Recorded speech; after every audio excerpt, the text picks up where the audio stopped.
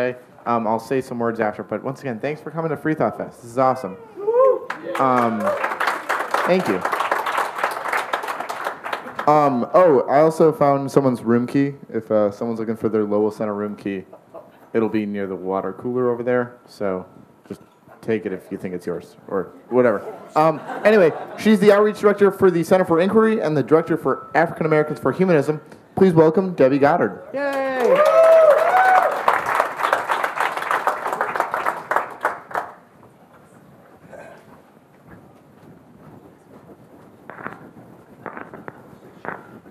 Hello. So, I'm glad that some people stayed for the end of the conference. Um, no, it's really good. I know it's a long day, and I appreciate it. And then, do I sound okay? I'm getting a little bit of. Cool. I'll ignore the ringing that's happening up here slightly. It's all in your head. I hope so. I was revising my presentation, and then I had a hard time printing out my slides, which is why there was a delay. I do apologize for that. But it's partly because some of what I was going to talk about, Jesse Galef covered excellently this morning. Um, I was going to talk some about the campus movement, the student movement, past, present, future. And he talked about that. Um, he also summed up some of why the student movement is important, which of course is a big part of why we talk about the student movement. You know, I believe the students are the future, that sort of thing. And so I tried to amend the presentation to complement his, to talk about some of the things he hasn't covered. Um, and also, Ben has sort of persuaded me to do something that I was only half heartedly joking about yesterday, which was the Debbie Goddard Storytime Hour uh, presentation. Stay away from the speaker, Where's the speaker? above you. If you get close enough, the bats come out. Okay. Um, and to start with a personal story that I've told a couple of times at different events over the years because I've been involved for a while, but I will share it with you. And I guess, oh, there is a clock. Cool. So, first, see the student movement past. By student movement, I'm talking about organized student groups and conferences and organizations, whether national or international. A lot of the information hasn't been written down. I think actually Hemant may have put some together in his recent book. But um, I've gained some knowledge about some of it over the years, and I'll talk about that, my kind of more personal perception of the student movement. So I wrote some notes to self because I wasn't around at the beginning of it, um, so I could share that with you. Um, national program or organization wise, um, a lot of the national level organized free thought movement started with the Campus Free Thought Alliance. It was founded in 1996. The Council for Secular Humanism, which is an organization that's kind of part of and affiliated with the Center for Inquiry, brought together seven college students to the headquarters outside of Buffalo, New York. The students already had groups at their campuses, but this is 1996, so there's not that much interneting going on. They're not really communicating with each other. They wanted to establish a network. I'm seriously gonna. I have things to gesture to, so that might be worrisome, but I'll try to, to adjust. The seven students wanted to establish a network of non believers and rationalists on university and college campuses across North America.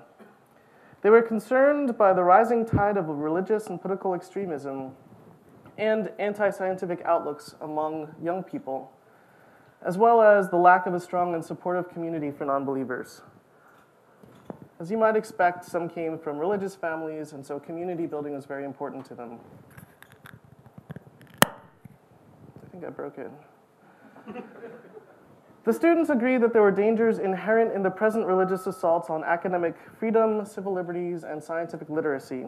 They outlined their concerns in what was called a Declaration of Necessity, which they distributed online. The New York Times actually reported on that Declaration of Necessity, too.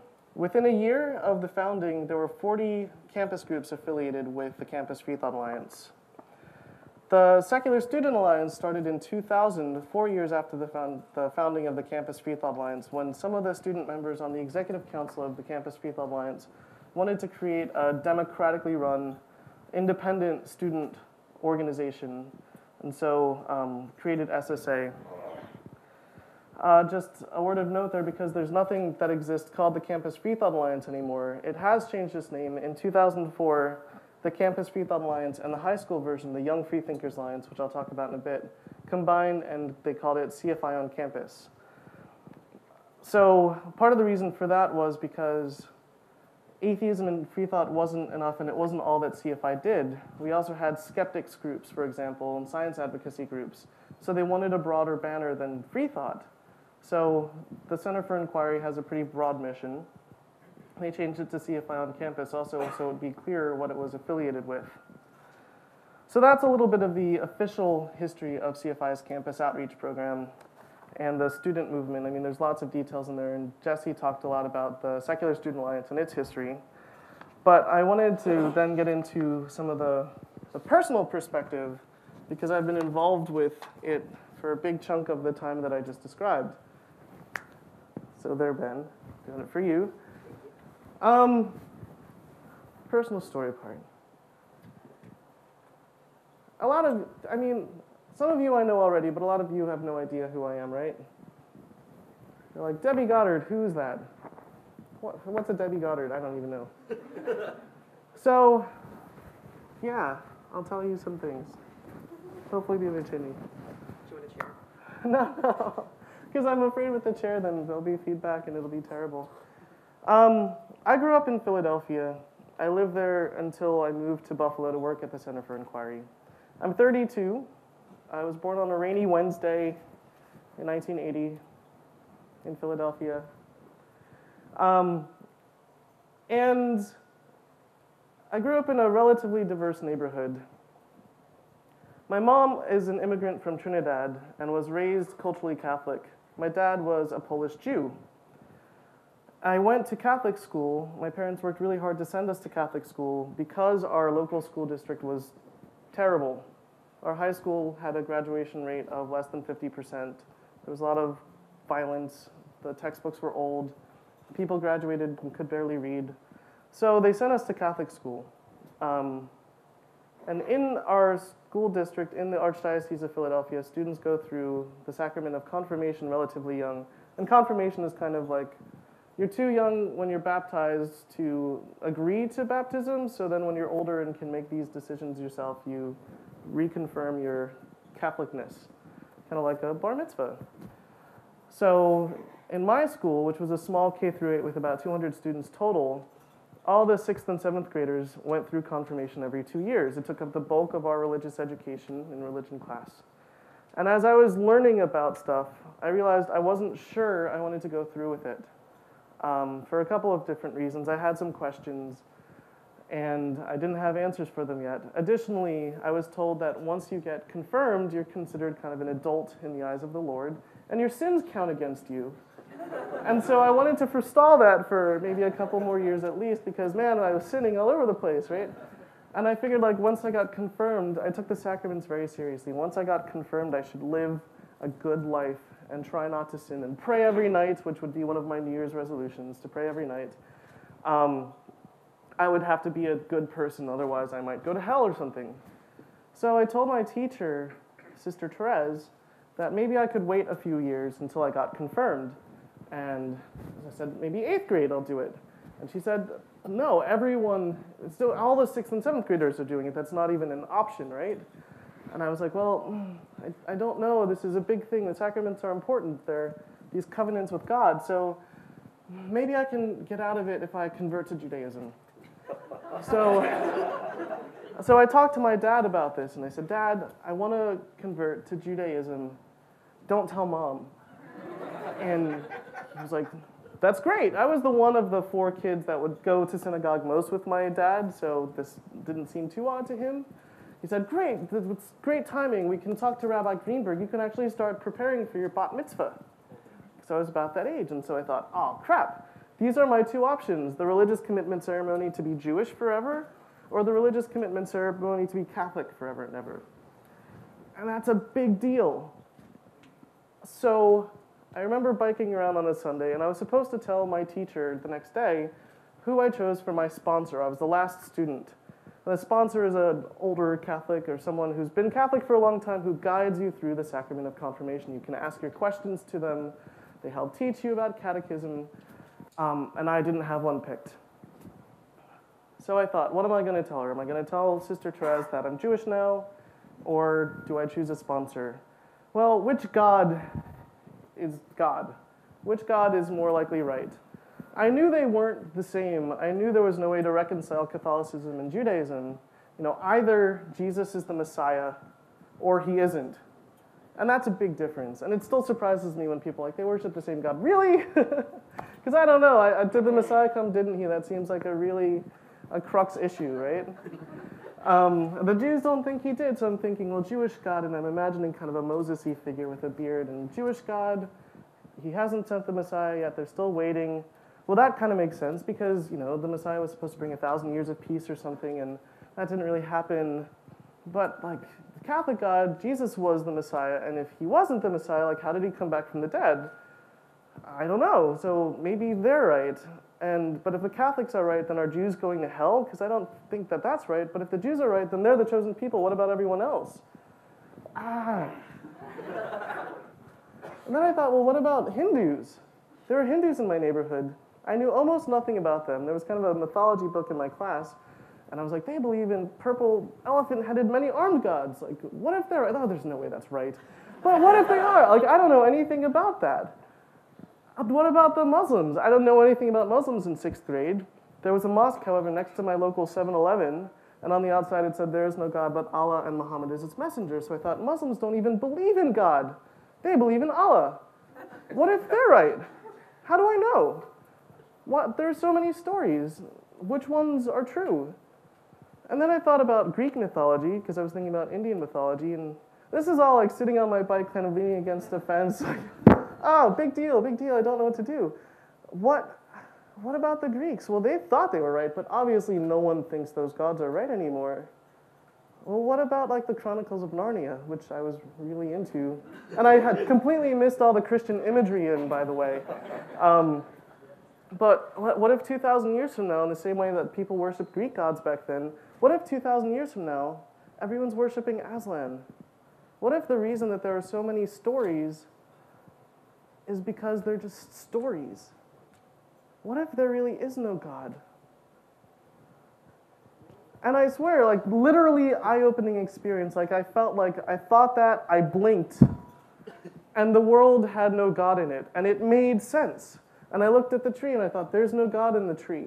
There's no God in the sidewalk. There's no God in those people. Like, wow. I need to tell everyone this. this is incredible. Like, wow, this makes so much sense. If I explain this, they'll see. I had no friends when I was in sixth grade, so that's why like I didn't know how things worked. So I went to I went to school the next day. I actually biked home because I was really excited to tell my parents, and they weren't home. Um, and I went to school the next day, and my teacher, Sister Therese, asked me during a recess, Who did you pick as your sponsor? And I said to her, Sister Therese, I don't think there is a God. And in my head, the way that this would play out is she would be surprised and then think about it and realize she'd never thought about it before and say, You know, um, I have to think about this. And she'd go back to the convent that night, and while the nuns were eating spaghetti dinner, they'd be discussing it over dinner. But it would be too big a discussion for them. They wouldn't know the answer, so they'd bring it to the priests, and then the priests would have to discuss it. And then it would be on Time magazine, and it'd be huge. Because I was the first person in the world to think of this, right? I'd never heard that this was an option before, so I really thought, like, I, wow, this, and it wasn't that I was prideful, just this had never been presented as a possibility that you could not believe in God. So that, of course, was not at all her response. Sister Therese instead responded, and mind you, in, in sixth grade, I'm like five, seven and a half, and she's tiny. And she looks up at me and she says, What? You listen to me, young lady. You're getting confirmed. Everyone's getting confirmed. And she's like, storms off. She's upset. I'm shocked. Like, how can I get confirmed now? I'm, I'd be lying to God. That, what? So she storms off. They assign me a sponsor for confirmation, the school secretary, Sister Charles, who's as mean as that sounds. And she was my older sister's uh, sponsor. So I get assigned Sister Charles as my secretary, or as my sponsor. And this is a big deal to me. I always took the sacrament seriously, covenant with God and all of that. And I remember talking to my mom, oh, there's another thing. I got suspended. I got suspended for two days, which meant sitting in a different part of the building in a small office by myself with my spelling homework and a Bible. And meanwhile, you know, I'm reading the Bible and going, wow, these are also obviously stories, just like Greek mythology. Look at all of these stories. And I had no word for atheist, but it just solidified to me this idea that, you know, wow, there really is no God. Um, so yeah, I told my mom about this all, and I had just gotten in trouble, so she wasn't super happy with it. And I was like, they, she, Sister Therese won't let me get out of confirmation. But if I get confirmed, I have to be Catholic forever, and I don't think there is a God. And my mom was, bless her heart, she was going through nursing school, and mostly I think she didn't want me getting in trouble anymore. Um, she was taking philosophy classes, and so she said, You know, Debbie, well, it doesn't matter if you go through confirmation then, because you're not making a covenant with God if there is no God. I don't know why I didn't think of that. so just go through with it so that you don't get in trouble. oh, okay, yeah, I can do that. Um, I actually missed the uh, catechism day, like the day you sit with the priest and go through all the questions and stuff, so to make sure that you studied, because my mom was graduating from nursing school that day, and I never made it up. I just went through it in religion class. But the day of confirmation, I'm there in a dress, and we go up to the bishop, and my sponsor's hand is on my shoulder. And she didn't really like me anyway, I, I could tell. But her hand is on my shoulder, and the bishop says, Do you believe in one true Catholic God? And there's oil involved in things. And I said, No. and he's like, Bless you, go on, you know. he was 89. He actually died a couple years later. He deaf as a post.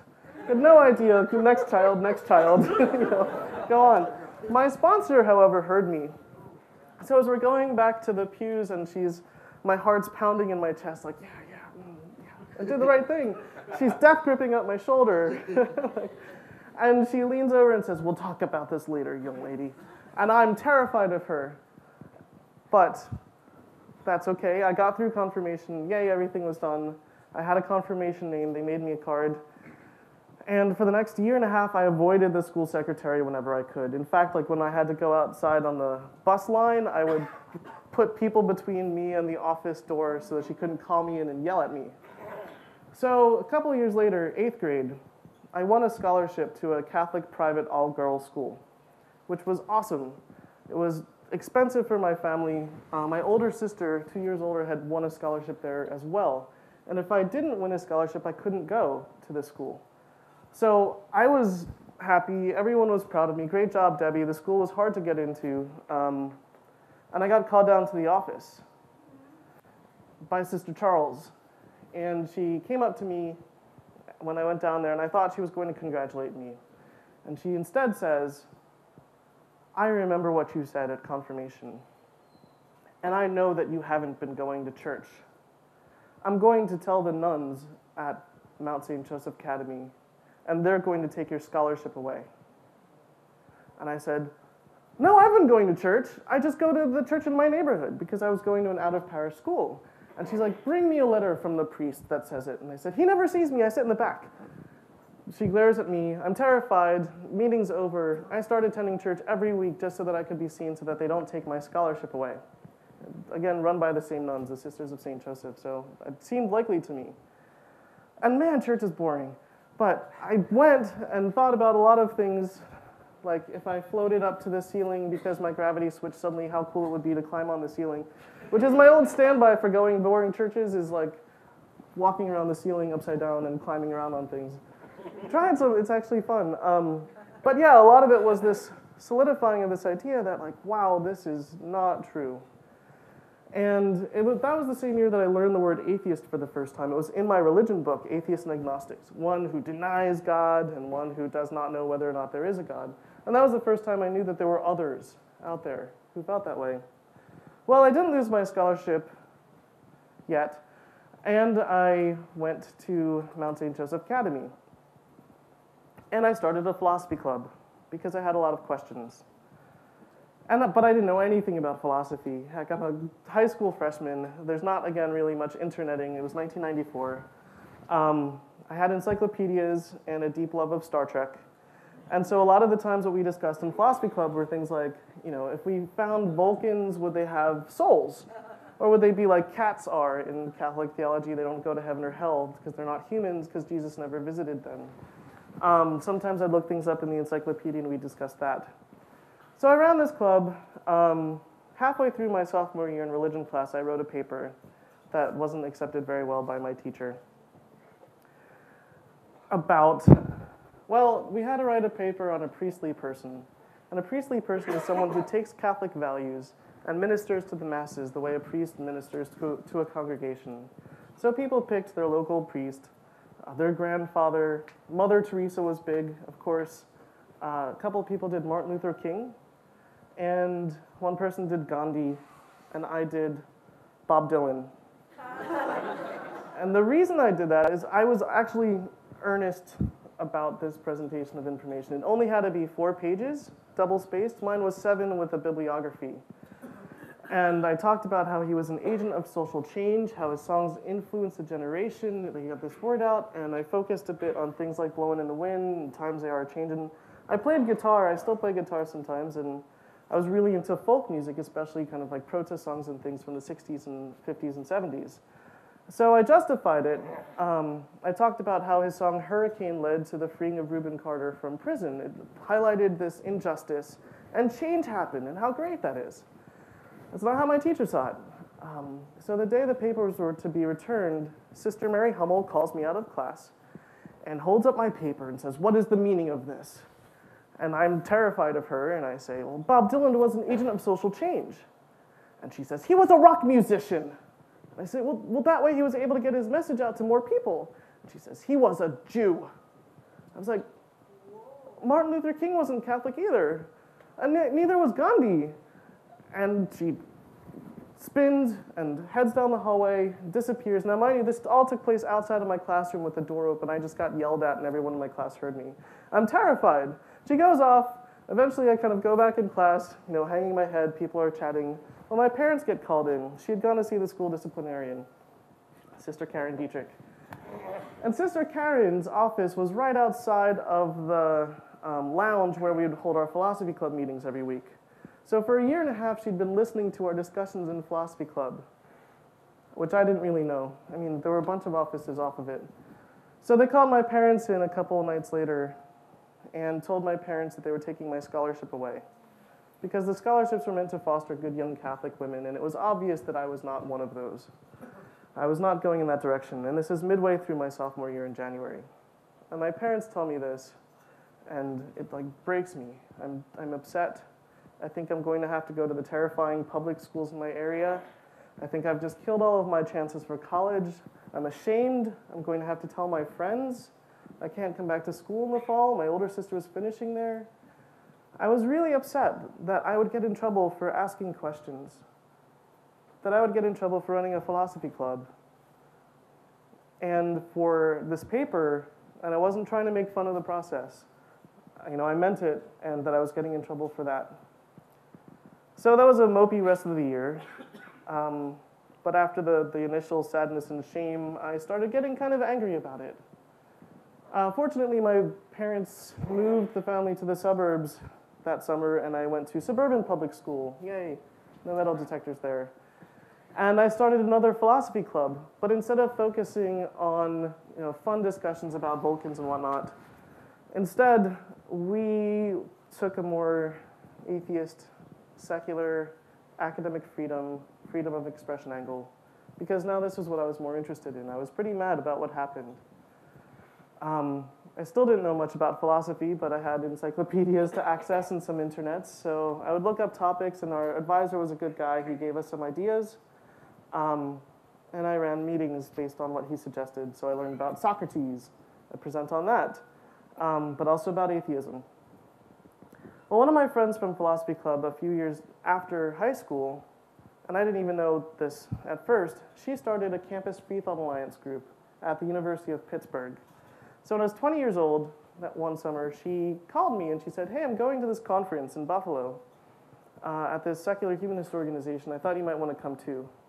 And I was like, wait, a what? Now, it, I knew that she had become an atheist, and part of it was the result of discussion in philosophy club that she started questioning some ideas that she'd never thought about before. I didn't know that she'd gotten so interested in it that she'd gotten involved with this Campus Free Thought Alliance group at Pitt.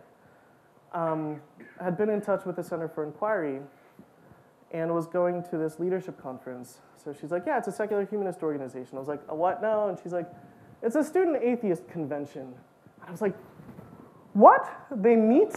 There's such a thing?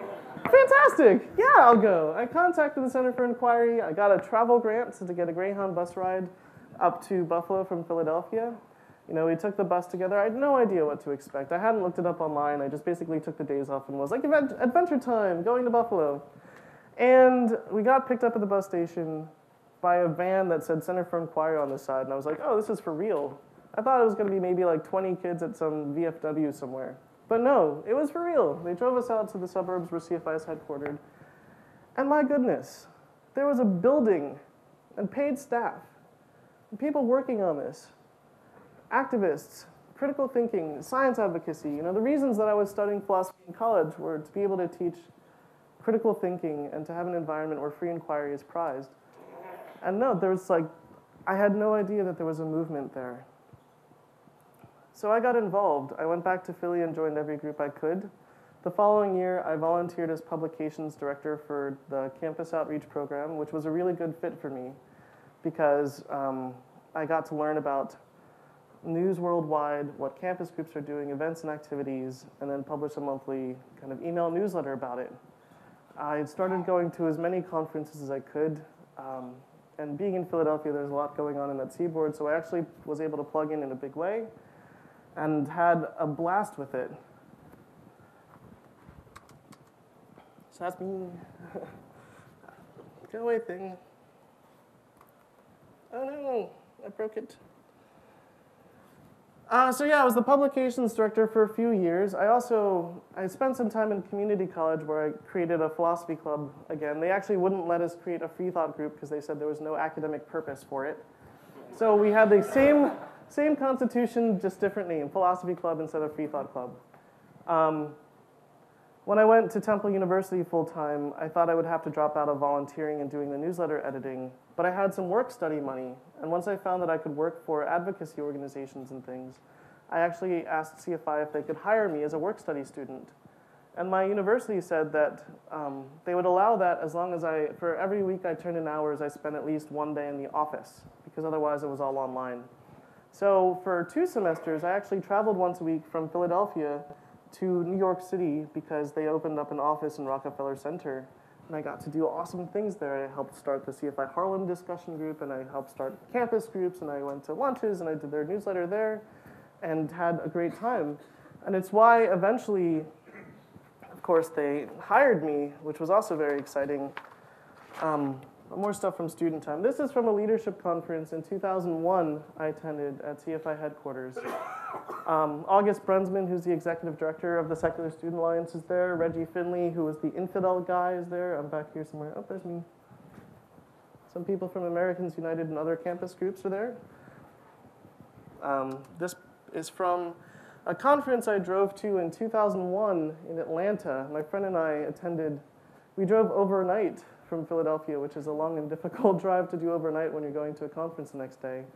Uh, it's the first time I'd met DJ Grothe, who was a former student activist, but I'll mention more about him in a sec.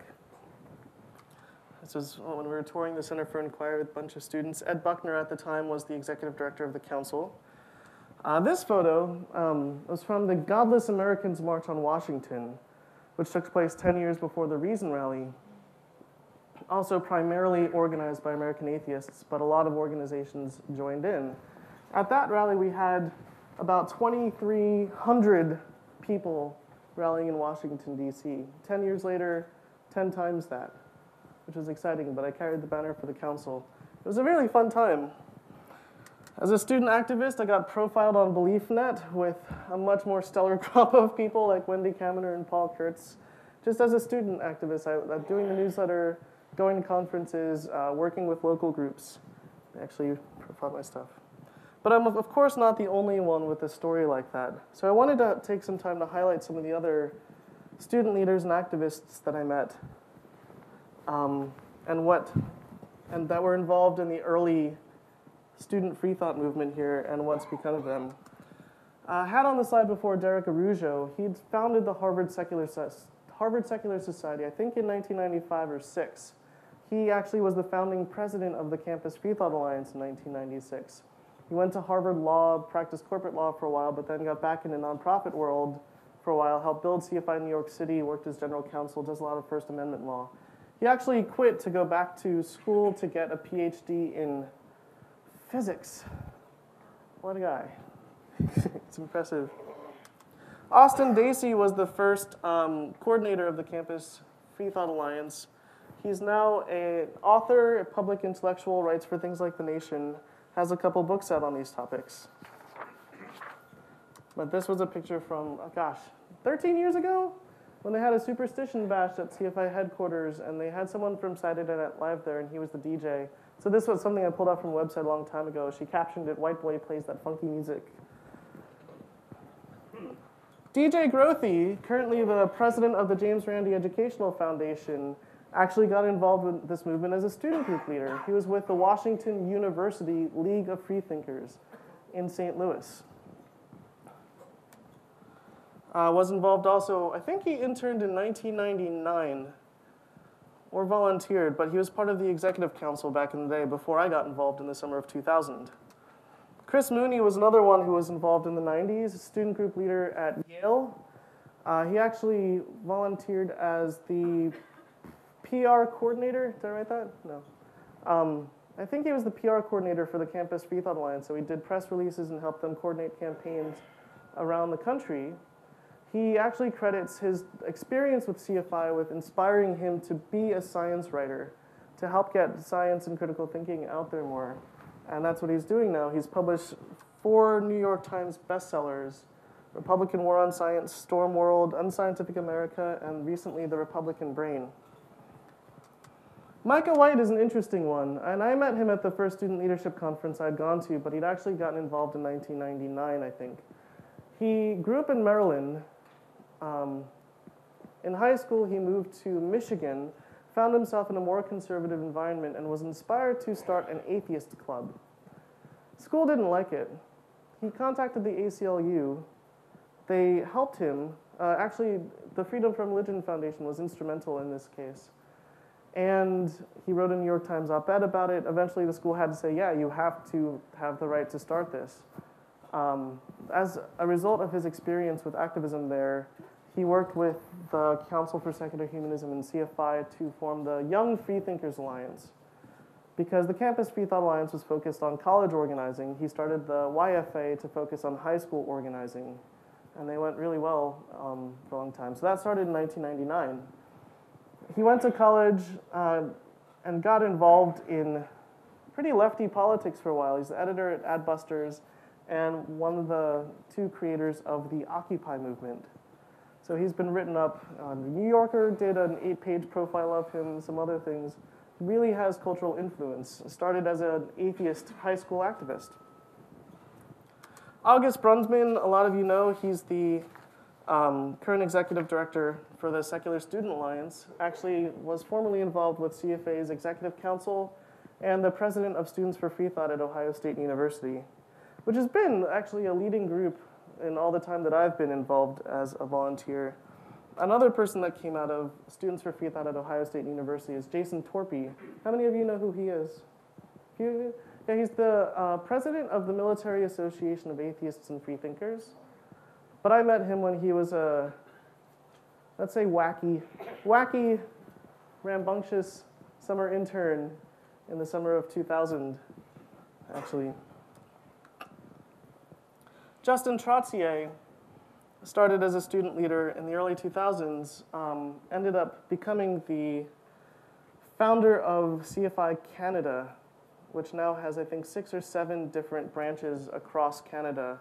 He also sponsored student groups across the country. Maggie Ardiente, I met her once a long time ago, but she now works as the Director of Development and Communications for the American Humanist Association. Uh, but she started, again, with student movement involvement. She was involved with the James Madison University Freethinkers. Austin Cline is an interesting fellow, too. He's used the same headshot since at least 2000. and it's still his headshot. Uh, he was involved as a student group leader in 1998, 1999, 2000. Um, he was their Internet Affairs Coordinator for the Campus Free Thought Alliance. Stayed involved. Um, he's the guide to atheism on About.com. And he's been doing that for a really long time. Very, very prolific. Does tweeting and all sorts of things. So if you've ever seen atheism articles on About.com, that's Austin Cline, former student leader. Hemant, I don't need to say much about. I think you all know him, but you might not know that he was a CFI intern in the summer of 2003, also involved with Students Without Religious Dogma, I think was the name of the group at uh, the University of Illinois Chicago. Jen McCreight is a blogger. I wanted to focus on a couple people who are uh, writers. Of course, Jen McCreight does Blag Hag. She's a public speaker, activist, getting trained as a scientist now. J.T. Eberhard, I don't need to say much about. You know, he came out of the student movement. Um, the impact of Skepticon alone is incredible. How many thousands of people have gone to that event? A couple organizers I wanted to highlight, people who got involved as students um, in the last 10, 15 years and are still involved. Actually, no, I guess I have new ones. Sid Leroy um, started four student groups at different schools in New York City, is an uh, counselor with Camp Inquiry in New York State, and was hired recently, a year ago, as CFI New York City's executive director, so coordinating everything there. Dave Muscato was mentioned by Jesse. He was the former president of the Missouri University Student Group. He just got hired, I think, last week as the PR director for American Atheists. So he's coordinating all the PR right now for the big 50th anniversary conference in Austin. Uh, my two coworkers, I put in here too because I like them and they're awesome. Cody Hashman is the founder and former president of the University of Northern Iowa Freethinkers and Inquirers, which is an award winning group, one of the top ones in the country. He interned with us uh, in 2011, and we just hired him a couple months ago. He's got a really keen sense for organizing. My other coworker, Sarah, also got involved as a student. In 2008, she founded the group at Indiana University. Um, I think it was 2009, they ran a bus campaign in Indiana. They were inspired by one in the UK. Actually, they went as far north as Chicago for the buses. Um, but that got a lot of attention for their groups, local group and uh, campus groups. And we just brought her into a couple months ago. There's a picture of the one ad, You Can Be Good Without God, Indi- Indiana Atheist Bus Campaign. In 2009, I really like this picture, and I'll explain to you why. Um, because I got hired in 2006 after being just a scrappy student group leader person organizing stuff, and they hired me, and I was like, whoa, I get to do this for a job. This is awesome. Well, in 2009 is the first time they asked me to speak at a national conference for CFI. And they're like, can you put together a panel on student activists? And I was like, yeah. I picked four people. I tried to get a group with different backgrounds. So we have a Canadian on the end there. He was a 19-year-old activist from Halifax. Jason Ball from Australia, who flew in actually for this conference. Michael Amity from Seattle, and Sarah Kaiser, who I mentioned we just hired from Indiana. She talked about the bus campaign as well as other activities on campus, which was awesome. So the reason, one reason I like this picture is because, you know, there I am, we're like six years ago, maybe I was one of these people, maybe. And before that, I was looking at them like, whoa, they're so cool. They do the coolest things. I wonder if I can do something like that. Let me try. So to be able to provide the opportunity uh, to get involved and to share what they do to people has been really special to me. So I mentioned Jason Ball. He's an Australian activist, and one thing I wanted to highlight that Jesse didn't talk about much yet was the student group movement in other countries, or the student movement in other countries. Um, Australia has a good network of student groups. Jason's been responsible for a lot of that. I think he's 25, maybe 26 years old now. He was actually inspired to get involved with the movement because he did a program in high school, an exchange program, where he came to a high school in Kansas for a good part of a year. And his experience with religious groups in Kansas terrified him. So he went back to Australia and started seeing some effects that religion had in government and culture there and said, I need to organize something here. He founded the University of Melbourne Secular Society and got involved with the groups there. And since then, his, he's, he's been incredible. He organized a protest against a Pope's visit. Uh, not so much that the Pope couldn't come, but that the Australian government was paying so much for them to organize a world youth rally there. Um, he's now the PR director for the Atheist Foundation of Australia and is one of the primary people organizing the every two years Global Atheist Convention, which has been the largest atheist convention in the world. Their last one, last year, brought in 4,000 people. And that's in Australia, a country of what, 22, 29 million, something like that? Small country, big conference. So he's become a spokesperson there. This is him at the Global Atheist Convention. It's not the only thing he's been a spokesperson for, though, recently. And he credits his involvement in atheist activism with inspiring him to take the lead in these issues. He's gay, and he plays Australian rules football, which they call footy because they're Australian and they cutesify everything.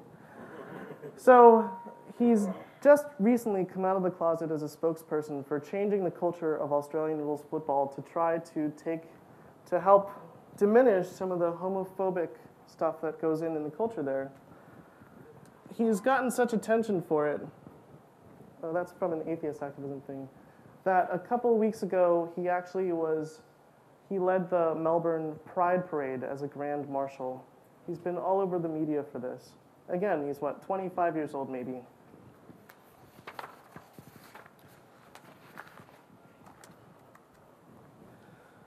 This is my friend Yemi. And Yemi is an interesting one for me. When I started editing um, the campus newsletter back in 2001 as a volunteer, I reached out to campus groups all over the place and asked them for articles about their events and things on campus, opinion pieces, poetry, whatever.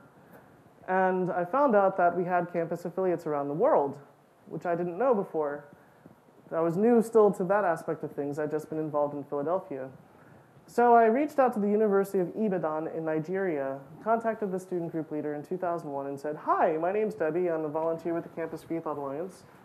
Uh, I was wondering if you would write up an article about what you're doing on campus in Nigeria. And he said, Sure, yeah. In fact, we're organizing a big workshop about superstition right now um, to try to stop people from killing kids who are accused of witchcraft. That's great that I can write up that for your newsletter. What are you guys doing in America? And I mentioned this in Minnesota because at the time, the big issue for the atheist community was trying to get under God out of the Pledge of Allegiance. So I said, you know, we're trying to get under God out of our Pledge of Allegiance. Wow.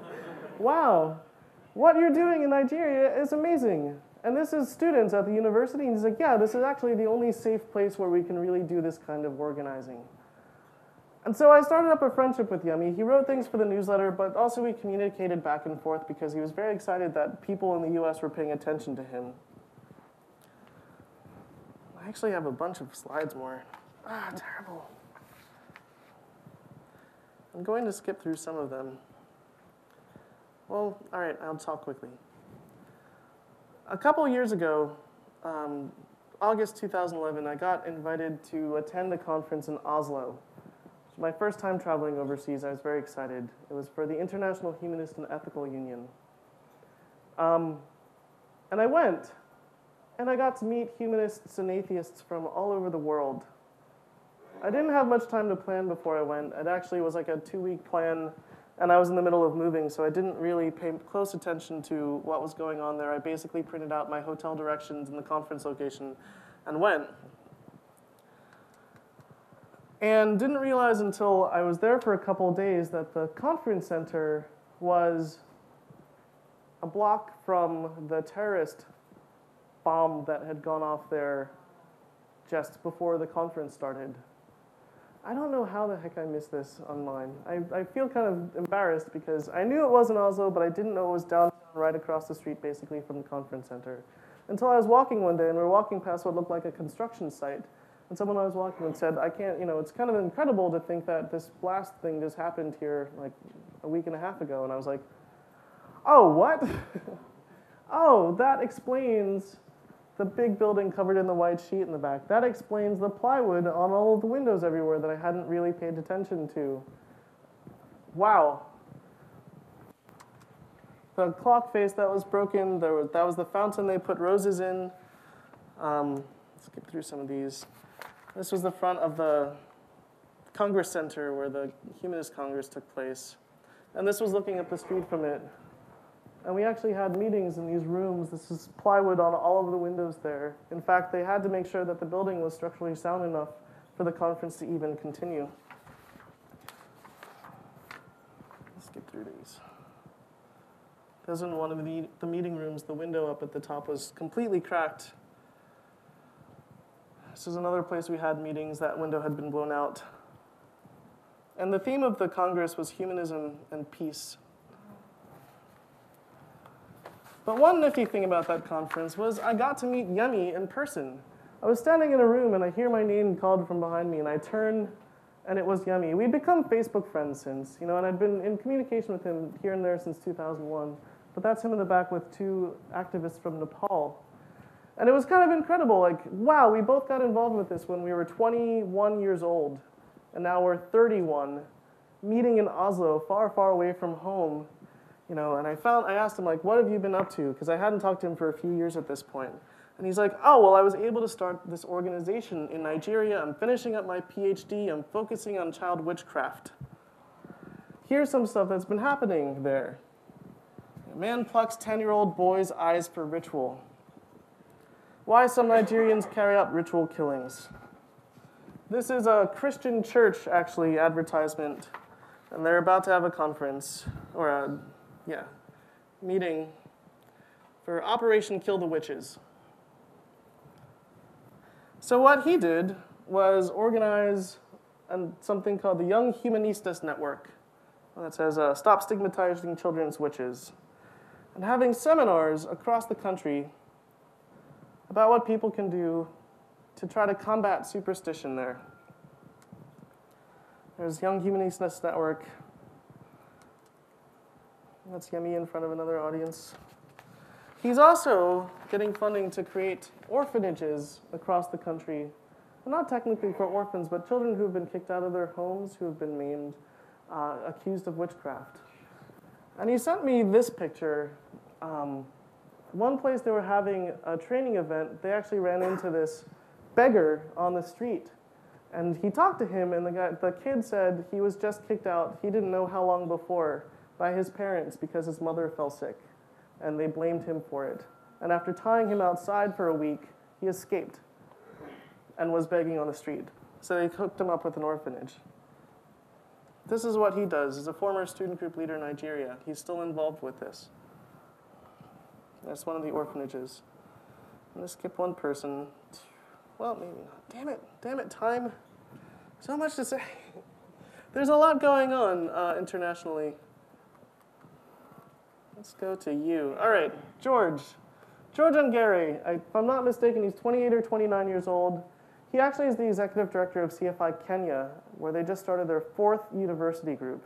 This is Maseno University, University of Nairobi, University of Kenya, Moi University Freethinkers.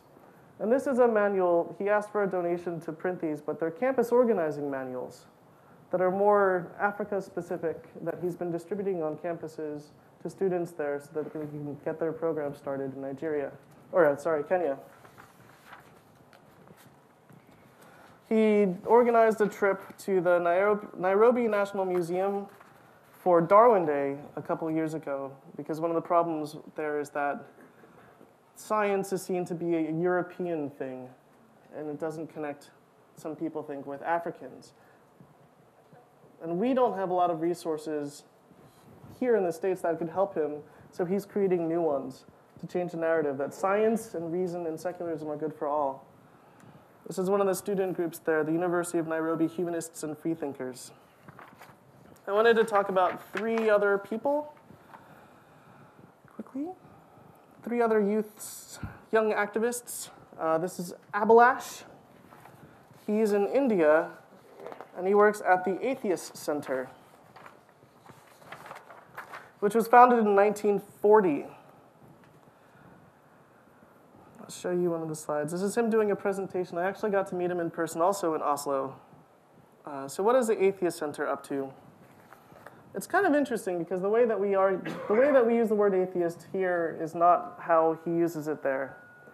Said, right from the inception, Atheist Center adopted a comprehensive approach for sustainable development. It views life as an integrated whole and is striving to build an alternate way of life, a life stance based on a secular humanist atheist alternative.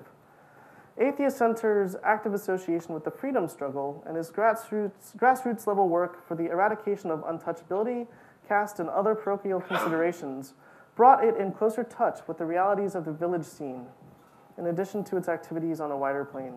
They concern themselves with, a lot with poverty, education, contraceptive education, uh, anti blasphemy work, uh, scientific medicine rather than village remedies.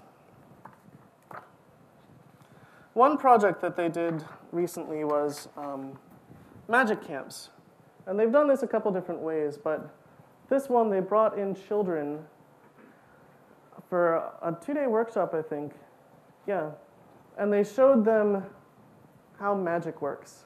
Here's a trick, here's how we do it. And the reason was to train them how to recognize ways that people can deceive people. Because they have a problem there with the godmen people who say that they have supernatural powers. They can give blessings, they can fix things, you know, they can make you rich. Um, and it's harmful. Another activist that's involved in India is Sanal Edamaruku. He's been in the news recently because he was charged with uh, blasphemy against the Catholic Church. There was a cross that seemed to be weeping.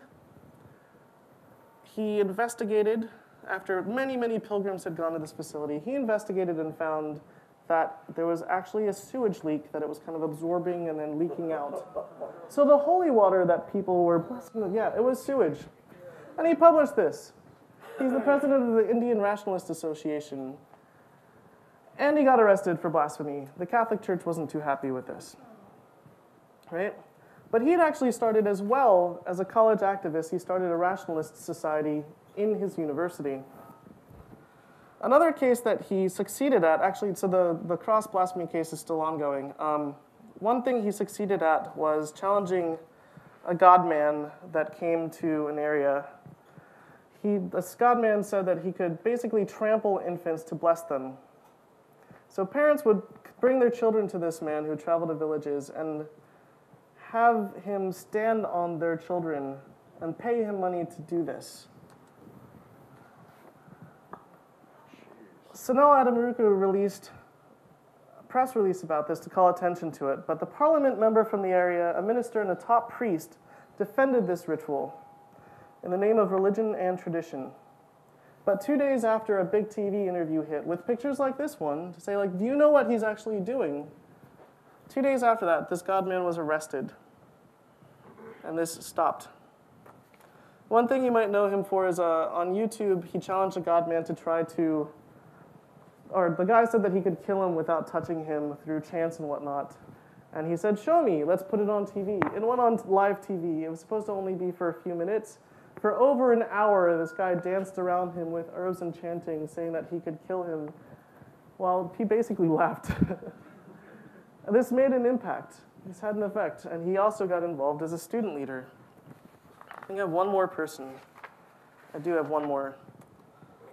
Gulalai Ismail from Pakistan focuses on education of young women, which many of you know is a big issue. Many girls don't get educated at all. She started an organization at the age of 24 called Aware Girls, a young women led organization working for women empowerment, gender equality, and peace in Pakistan we're working to strengthen the leadership capacity of young women, enabling them to act as agents of social change and women empowerment in their communities. Uh, one thing that they're focusing on especially is sex ed, which no one gets there. There's been rampant HIV spread, um, and of course, if you talk to Pakistani officials, they're like, that doesn't happen here. you know, women only have one sex partner, so how can that happen, they say. Of course, that's not true. So she educates them on this. So I learned a lot from my experiences, not just at this conference and in connecting with different humanist and atheist activists, and again, not just in the US, which I highlighted some of and Jesse talked about some, but worldwide. Um, much of it has been incredibly inspirational to me. When I found out what was going on in Nigeria when I was 21, um, and how big an issue that is that people could be killed for accusations of witchcraft, that superstition and bad thinking can kill. That inspired me to work harder. That showed me again how important our values are in this movement. So I wanted to share some of the things I learned being involved with this movement and starting again, like as a student leader. In many parts of the world, humanism, of course, is allied with good action. It doesn't just consist of people getting together once a week or once a month. They actually work to change things. Many humanist initiatives worldwide are led by young people, and many of them take place on college campuses. You know, many of them are also people tied in with education. Uh, there's a government-sponsored humanist university in the Netherlands. There's the Atheist Center in India. There's um, you know, Gulalai's work in Pakistan. There's what Yemi is doing in Nigeria. There's the work in uh, Kenya, educating untouchables um, in India. Often those are the safest spaces to discuss the ideas that challenge cultural norms. And I think that's something that we also can see here. So I've been able to take listening to these people's experiences and seeing some of them grow as activists and leaders, seeing some of them come from the student movement and become movement leaders and whatnot, um, that there are ways to make atheism and humanism and skepticism relevant in any cultural context. And that's been useful to me, you know, moving from Philadelphia to Buffalo. That's been useful to me thinking of how to organize in the South versus how to organize in the Pacific Northwest, where the values are different. There's not just one road to activism and leadership and making a difference. I also learned, of course, that humanism is inspiring, that atheist activism is inspiring, that we're really trying to change the world here.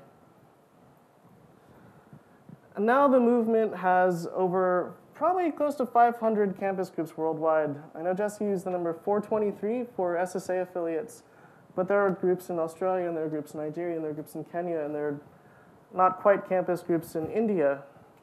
They're developing around the world. There are volunteer programs, there are structures for leadership. And it'll continue to grow, especially with the internet's ability to connect people in ways that they weren't able to connect before. So, what does the future of this movement look like? It looks like me, and it looks like you. It looks like the students that we can invest in. You know, if I had known people when I started philosophy clubs in high school that could have helped, that would have been incredible, but it was in the mid 90s, and again, there wasn't much interneting at the time. And it looks like all the people that we're going to see, you know, get involved in this and find that this is worthwhile and that they can make a difference, whether they become teachers or parents with kids and ha- can have a voice in homeschool associations, or social workers, or activists, or doctors. And I even put pizza delivery driver in there because that's what I did for five years full time, which is why I'm fat. Um, or writers, bloggers, to have a voice. You know, even delivering pizza, I could speak up when my coworkers said things that I thought were wrong. I can say, you know, your view about same sex marriage in the Bible and why that should make us vote a certain way, I don't think so. And here's why. Let me tell you about this. So, the future of the movement is us, it's the students, it's, it's all of us together. And whatever it is we can do to make an impact. I know I went over time. I apologize. But thank you. Thank you for your time with this.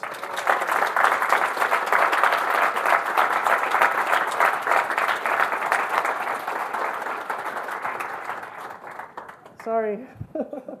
Sorry, organizers, for messing with your schedule. It's all right. I'm the last